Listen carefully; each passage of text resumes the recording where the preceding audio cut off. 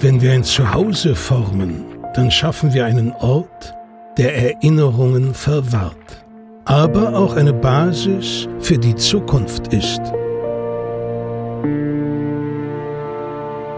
Wenn wir ein Zuhause formen, dann tun wir das immer an Orten, die Träume nicht einschließen, sondern beflügeln.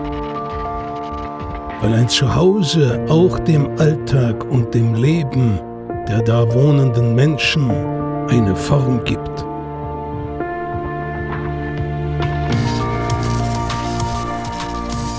Wenn wir ein Zuhause formen, dann gestalten wir nicht nur diesen einen Ort, sondern auch all das, was ihn umgibt.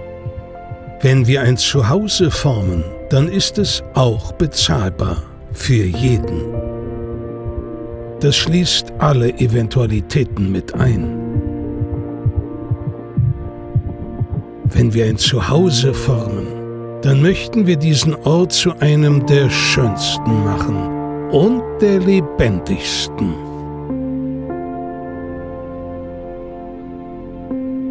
Wenn wir ein Zuhause formen, machen wir das nicht einfach so mit links, sondern immer mit beiden Händen.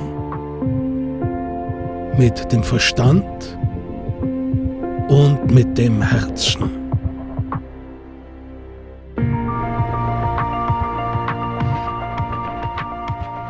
Wir passen gut auf jedes uns anvertraute Zuhause auf.